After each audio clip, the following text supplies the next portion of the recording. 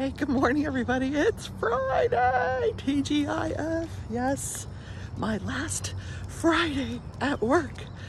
And uh, some news about that, yeah. Also, wow, it's National Dog Day. So you got pictures of the dog this morning, mainly because I don't know where the heck Stitch is. I let him out about an hour ago. Uh, yeah, I've been up for a while. I let him out about an hour ago and uh, he's not in his usual spot. So he must be like trolling the neighborhood. Anyway, I've got a good one for you today. Closing arguments in the staged suicide case. You don't want to miss this. Stay tuned.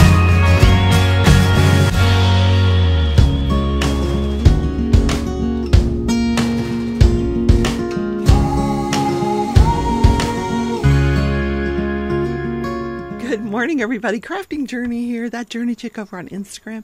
And the leftovers on my second channel. Check that out. The link is down below. I'm trying to get that channel launched. The YouTube algorithm looks at likes. So if you could go over there, subscribe and like, that would really help me get that channel launched. I've been doing an a video once a week when I do my yard sales. This is part of my new business. Today is my last Friday. Then Tuesday, I am officially retired and fun employed with my new job reselling used items for profit on eBay. So check out those check out that leftover channel. So I'm getting out my watercolors, yes. Well I I had them out. I've been up since I don't know, five o'clock this morning. I don't know why I've been waking up so early, but I have been. So I was doing a little painting. I did some last night and I did some this morning. So we're going to get everything nice and juicy here. Okay. So let me show you what I've, oh my goodness, a lot of stuff. A lot of stuff. So last night, I did this little landscape here. Just playing around. I've been watching some acrylic painters and getting some ideas from them. Wow, you can't you can't really see it. Okay. There, there it is. See the sun and the trees and, you know, the grass and stuff. So, just kind of playing around there. Then last night I did this one. Yeah. I like how this turned out. I like the little buds, the rose buds up here. I just kind of mix up the flowers. And then this morning, I did this little composition, just playing around. I was trying to mix some different colors. I did some Payne's gray and green here, um, some blues and purples here, and just different things, some buds, some vines, just playing around. So what I thought I would do this morning, while we are chit-chatting, I prepared another canvas and I put the almost like the landscape background to it, but I'm going to do flowers on the landscape background. I thought that would be super cute. So it's sufficiently dry because, like I said, I've been up for a while. So it's pretty dry, but it's watercolor. So when you put more water to it, it's, you know, you never know what you're going to end up with. So we're going to play around here with some flowers. Yes, we are. All right, so it's National Dog Day. This is this is the day if you're considering adopting a dog, you know, don't buy them. Don't buy a dog. Go to the shelters and adopt the dogs. Now, I know when COVID was going on, the, the shelters were practically empty because people were adopting the dogs like crazy. Um, so I don't know what they're like now, but you know, consider adopting a dog at a shelter. Now, I have plenty of dogs. I've got two dogs, two cats. That's enough. Yeah, but I can't say that if I didn't see a stray that I wouldn't pick it up. You know, I'm just uh, that's just me. Yeah. so, if you're thinking about getting a dog, today's the day. Let me know down in the comments if you're going to go adopt a dog. I bet you I get no comments about adopting a dog, but that's okay. I understand. It's expensive. The amount of money I spend at Chewy.com for milk bones and dry food and wet food, and then cat food and cat litter and shots. They all need rabies shots. I got to go get them to the vet. Yeah. Another part of being a responsible pet owner, right? Getting them to the vet. It's just the last time I took the cats to the vet, I got into a car accident. but I ended up making money on that one, so yeah, A little rear ender. The woman was pulling out of Taco Bell, and she, I guess she was checking her order, and she wasn't paying attention, and she ran into the back of me. So let's do some flowers. This is going to end up either really bad or really good. We're going to, we're going to see how adding a background is going to affect the painting.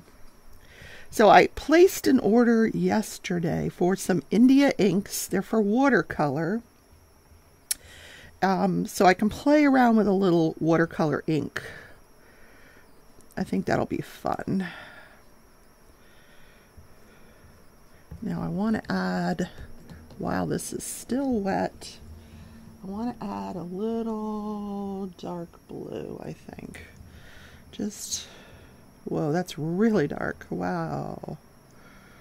Really dark. Oh my god, the garbage man is already here. Wow, they're early.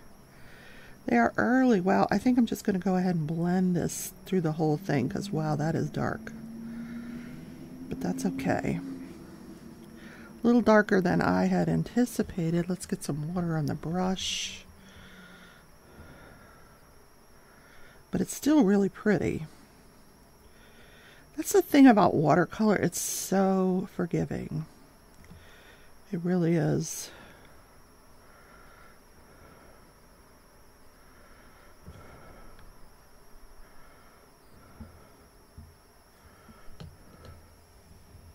What color was that? I was, forget what color I was using. That's terrible, isn't it?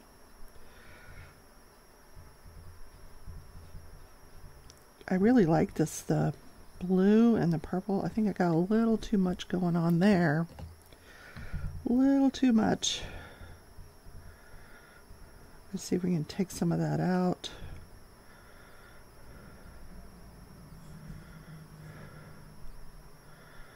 I'm still working on how to get that water to paint ratio, but I'm learning. All right, so that's one flower. Not done yet. All right, let's talk about the elephant in the room, Crafting and Crime Daily. what you came here for. All right, so yesterday in the stage suicide case, I brought you an update as I was driving to work. The judge made his decision on the Rule 29 motion for judgment of acquittal, and uh, he apologized to the defense for some remarks that he had made the day before, making it seem like their motion was just administrative and would be just, you know, something she could put on the record and would be dismissed. But he said, No, you made a very compelling argument, and I, I've really given this a lot of thought. And he thought about it overnight. And then when he comes back the next day, the prosecution, like obviously very nervous, the lead prosecutor, the elected official, is not in the courtroom. I don't, I don't know where she was. She had something else she had to do. And so the assistant prosecutor, he didn't want to go forward. He's like, "We, this is a sham. We, you know, we gotta. I'm not to stay here. Uh, you know." And the judge is like, "You will sit down." And he's like, "No, I'm not to stay here without the lead prosecutor. You were informed that she couldn't make it this morning, and you told her it was okay." And now you're proceeding. Well, you're going to proceed without me. And he walks out of the courtroom. Now, by the time the judge renders his decision and they're ready to argue jury instructions, uh, the lead prosecutor was there, and the other, the one that threw the tantrum, he's back. I don't know if I hope he didn't lose his job because that's a bold move. That is a, that takes balls to tell a judge that he's running a sham courtroom and and then walk out. That is really ballsy. Seriously ballsy.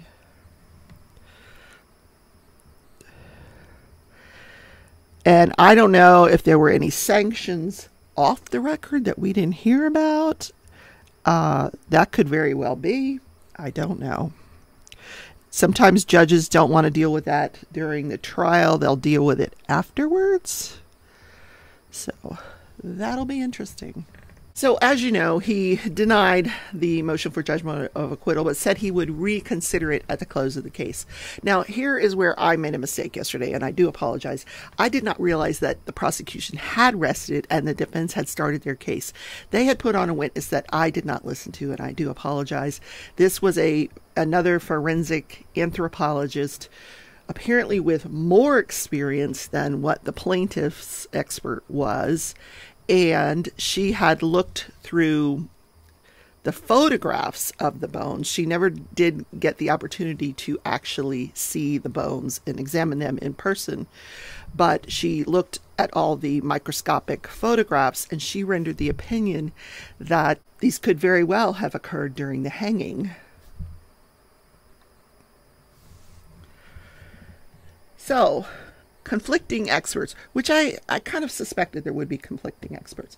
Then it was at the close of the afternoon that the, uh, because they went right into the defense case, she had not had her opportunity to make her motion for judgment of acquittal. So he allowed it at the end of the day, and then that's everything else is correct about what I said. So, closing arguments yesterday, and I got to tell you. the the man that the assistant prosecutor that threw the fit, he was the one doing closing arguments for the prosecution. And boy, you could tell that they are very angry with Diane Menashe. They really are. They they do not like her tactics. Um, they wanted to put into the jury instructions that what the lawyer says is not evidence. Which you know, he says, I already say that. We don't need to put that in there again. Uh, So, well, we wanted emphasized. Well, yeah. And good luck with that.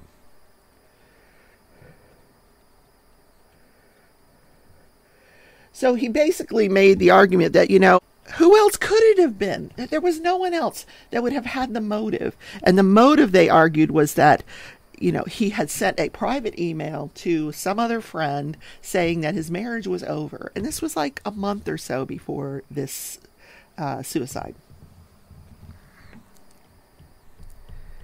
So he was just arguing the inferences. He says, you know,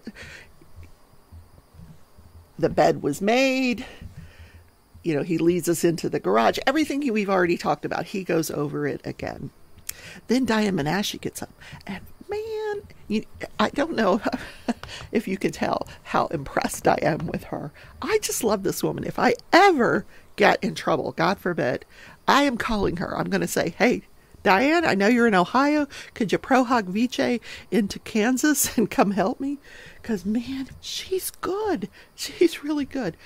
I did not realize. And she says here, you know, one of the things that Emily Noble had said to her sister is that I would never, you know, she promised her sister she would never kill herself, that she wouldn't do that to her sister. Now, how many times do you have these conversations with anybody about are you go- would you ever kill yourself? Only if you think they're depressed. What other time would you ask them that? It doesn't just come up in conversation. I don't just randomly tell you, you know, I would never kill myself. So, you don't have those kind of conversations unless you think the person is depressed. And Diane pointed out that if we could predict when someone was going to commit suicide, if we're if there were, you know, notes left and you know signals ahead of time, we probably wouldn't have suicide. We could we could prevent it. He, she says, you know, suicides just happen out of nowhere, and we never understand why or where. No, she didn't leave a note. She didn't leave any any signals to any of her friends that she was planning this or, you know, of course not. And I think I told you that uh, when a person decides to commit suicide, usually that's the happiest they're going to be because they've already made the decision. Then she pointed out how she she didn't walk away with that yellow cord that he pointed out in the garage because she would you know, she wanted to just be seen walking normally towards the park. And the USB, she, she, Diane demonstrated that it would fit right in your pocket and nobody would be the wiser. And this is something I did not know. I didn't realize this by the evidence that she had alcohol in her water bottle when she went for her walk. Diane also pointed out that it isn't till way after the searches commence that this man that says he saw her that morning going for a walk retracts his statement. All the searches, everything were based on his testimony that he saw her that morning going for a walk.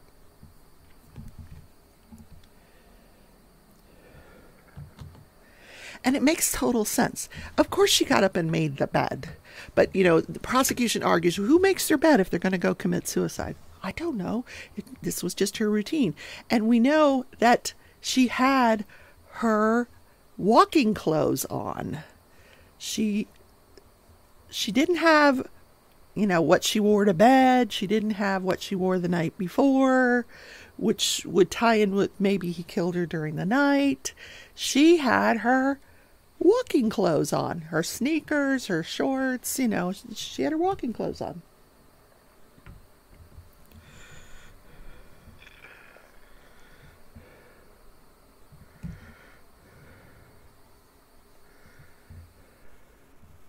So another thing Diane pointed out was that yes, we're on a first name basis now, Diane and I.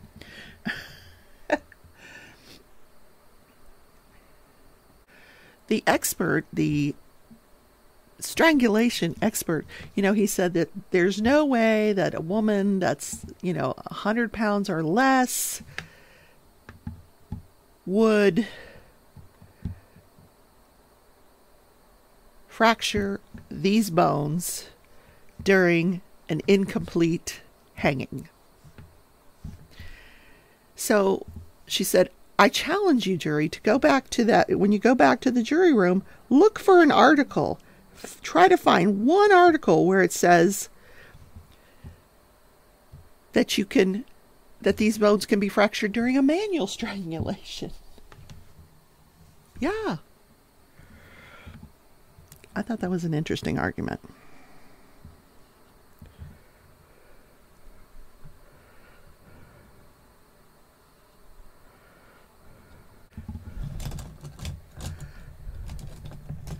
So at the close of the evidence and the closing arguments, this is now in the hands of the jury. So the jury began deliberating at 4:15 and yeah, 4:15 Eastern time. And then around 6:15 Eastern time, a couple hours later, you see the light go on. They have a red light. They show the jury light. There's a light that's on. If you ever watch the verdict watch, there's a light. And if it's red, that means the jury is deliberating. If it's yellow, that means they have a question. If it's green, that means they have a verdict. So it went from red to yellow and it stayed there for a while. So, as we all in the chat suspected, they had asked if they could go home. So, we learned that the jury had indeed left for the day and the jury will resume deliberations today. Watch in the eye for a link to the verdict. It did occur while I was actually editing this video, so take a look at this video if you want to see how that trial actually turned out.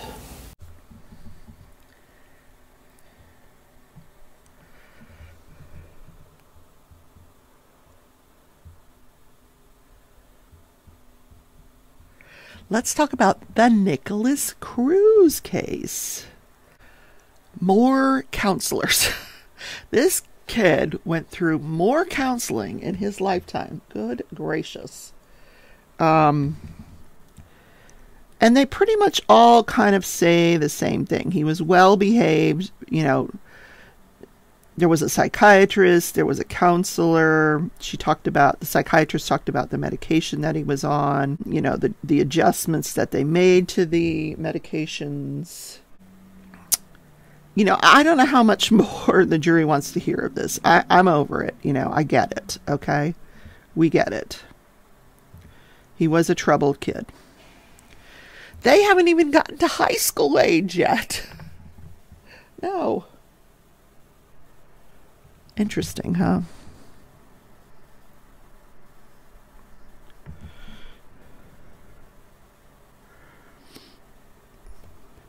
So that will continue on again today. And these are not short witnesses. They they are on there for a lengthy period of time. This is a huge snooze fest for the jury, I got to tell you. Huge. It, it certainly is for me.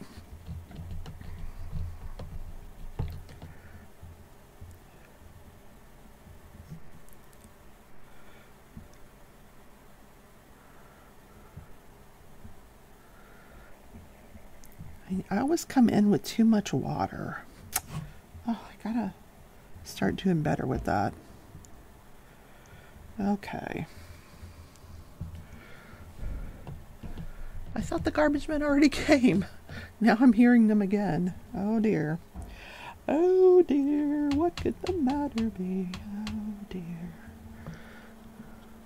I'm putting in the middle of these flowers this iridescent uh, watercolor to just give it a little sparkle. Yeah, because it's pretty. It's pretty.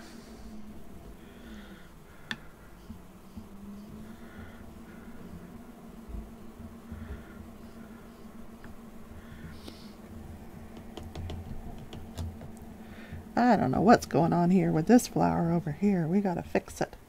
We gotta fix it, man. I don't know if there's any fixing this flower. I was wondering if maybe I should give acrylic paints a try. I don't know. I'm enjoying the watercolor. I think I'm going to stick with the watercolor because uh, just because I don't want to spend any more money. I did get my GoPro the other day. I'm still learning how to use that.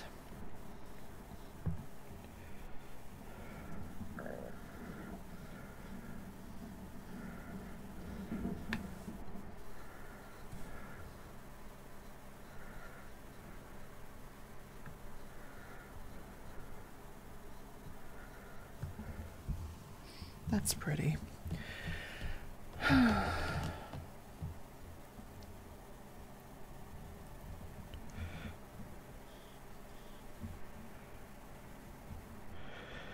This is very, um, like I said, an iridescent. It just kind of gives it a little sparkle.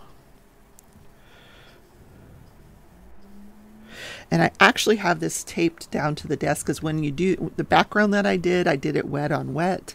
So the paper curls. And when it, I wanted to flatten it out so I could put the flowers on it. Let's do some smaller flowers. So it is Friday. Tonight I will be on Mickey Sunshine Creates live uh, for our diamond painting event, The Great Escape. Uh, we will have Tig's Creation will be on. I can't find the brush I want.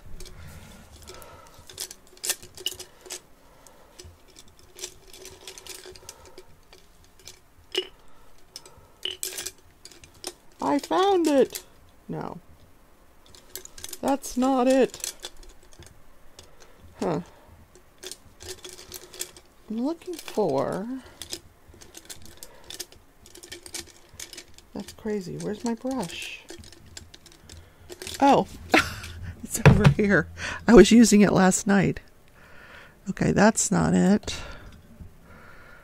This is it. It's called a cat's tongue brush. Yeah. So I wanted to use this. Let me spray this down a little bit more. The humidity is so high it just dries up this paint. So what happened this day in history? Let's talk about 1920. This day in history, August 26th the 19th Amendment is ratified. and adopted. And this gives women the right to vote. So before 1920, we were not allowed to vote. Can you imagine? Now, boy, do we have a vote. We can make our needs known, can't we? Just ask us about abortion. We'll tell you what we really want. Get all those men out of Congress, out of, uh, you know, the local politics, and let the women decide what's important. Yes. I know. Stop it, Rebecca. The only caveat to this 19th Amendment was it still did not allow black women to vote, just white women. How messed up is that? Like, it's so interesting looking at it retrospectively, but at the time, they didn't see a problem with it. So it wasn't for several decades later until that the black women got to the right to vote as well. Yeah. So. So tonight we will be on Mickey Sunshine Creates channel. That will be at 7:30 Eastern time.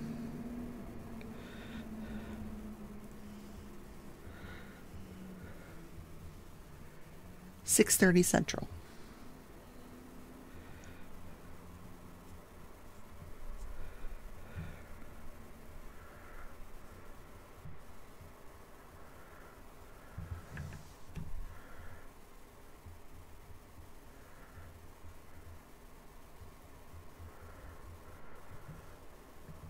I'm just finishing up the painting here. It's kind of a short show today. Yeah, not a lot to talk about. You know, seeing that there were closing arguments in the one case. I will tell you though, at one point during Diane Menashe's closing argument, you know, when she's talking about Emily's suicide and her, um, the defendant's son's suicide, he was he was in tears. He was in tears, and this is not the first time I've seen him show emotion during uh, this trial.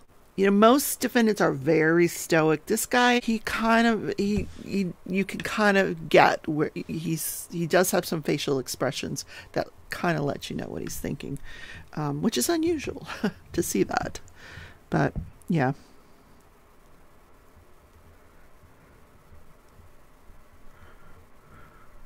Okay, I think I want to add more to this, um, but I don't want to do it on camera because, you know, I don't want to have you guys just sitting there watching me paint. Although I don't know, maybe you think it's fascinating. I I will take a picture of this so you can see as far as I got, but I'm loving the background. Um, just the fact that it's not on just white paper and that it's got some color to it. I did kind of the landscape background where you have the sky and the grass and some water, but it's really not designed for that purpose. It's just it was just I wanted it to be colorful to, you know, make the, the flowers kind of pop. So that is the show for today, guys. Don't forget to join me and Mickey tonight at 6:30 Central, 7:30 Eastern. And the other thing is, don't forget to watch the leftovers this weekend. Watch how the GoPro works out watch what I film, watch what I buy. All right. Bye, everybody. Have a great day. See you later.